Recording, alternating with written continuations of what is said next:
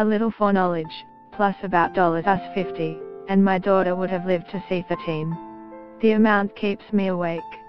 Many of us spend more each month at Starbucks. Not pocket change, it's not enough to change your life. Or so I thought. Like every parent, it received a dumpster full of child rearing warnings. The warnings started with pregnancy. They continued to the present day. Why then is my daughter not in her room texting friends, but in the cemetery?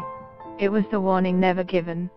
To begin near the end, one morning last May while I was showering, my wife burst into the bathroom. Our daughter, then 12, will wake up. I ran downstairs, naked and dripping, and found her on the floor, unresponsive. I pulled her into the middle of the floor, began pounding on her chest. Our other daughter dialed 911. The emergency medical technicians pulled me, still dripping, still naked, off her and rushed her to the hospital. The emergency room doctor, a softly spoken woman who looked half my age, put her hand on my shoulder. My brilliant, bubbly daughter showed no brain function. Ever full of life, she was dead. My wife and I pieced together the course of events from the autopsy report. A day earlier, about 5 p.m., our daughter swallowed a palmful of my prescription antidepressants, more than 10 times my daily dosage. Get the latest news and updates emailed straight to your inbox. By submitting your email you are agreeing to Fairfax Media's terms and conditions and privacy policy.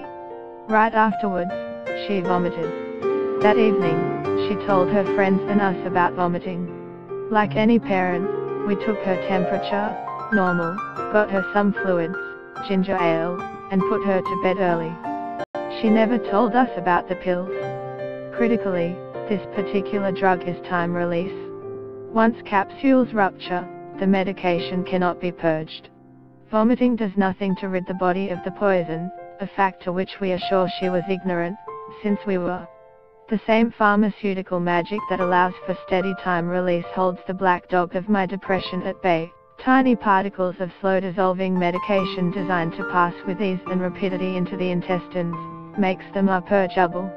Irony, meet tragedy. Our daughter plainly expected to wake up in the morning, Last texts with friends speak about weekend plans. She wrote with youthful excitement about an upcoming trip. My wife tucked her in,